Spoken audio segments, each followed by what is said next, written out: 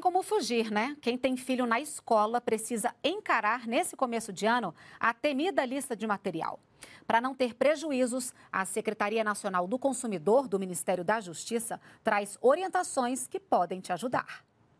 Lápis, canetas, canetinhas, tesouras, a lista de material escolar é sempre assim, extensa.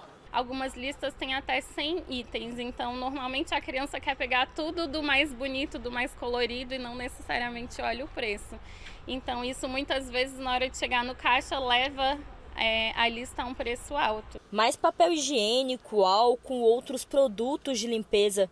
Precisa mesmo disso tudo? A instituição de ensino não pode cobrar o material de uso coletivo. Então, material de limpeza, material de higiene, como por exemplo papel toalha, é, papel higiênico, não podem ser cobrados e não podem constar dos itens do, da lista do material escolar. As escolas também não podem exigir produtos de marcas específicas ou indicar em qual loja deve ser feita a compra.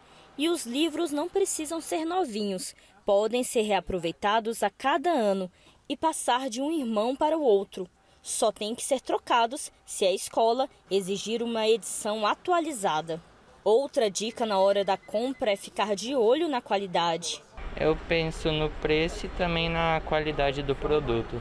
E não demorar para ir às compras. Quanto mais para frente você deixar, mais cheias as lojas vão estar e mais difícil esse trabalho de consulta, de pesquisa, de um atendimento personalizado também, ele dificulta um pouco devido à demanda, né? Porque brasileiro normalmente ele deixa tudo muito para a última hora. A Secretaria Nacional do Consumidor também recomenda que os pais pesquisem bem antes de comprar.